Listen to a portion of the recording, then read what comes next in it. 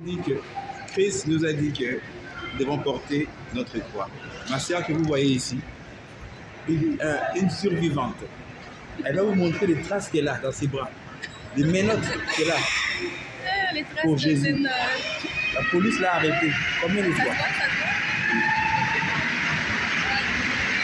Combien de fois la police l'a arrêtée pour empêcher d'avoir Jésus portez votre croix comme il a porté nos souffrances. Alors, on n'arrêtera pas tant que le Saint-Esprit sera avec nous et dans ce monde. Avant que le Christ arrive, nous faisons l'œuvre que le Seigneur nous a demandé de continuer.